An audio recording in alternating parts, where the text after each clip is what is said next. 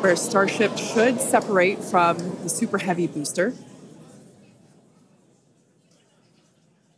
Yeah, Kate, right now it looks like we saw the start of the flip, but obviously we're seeing from the ground cameras the entire Starship stack continuing to rotate. We should have had separation by now.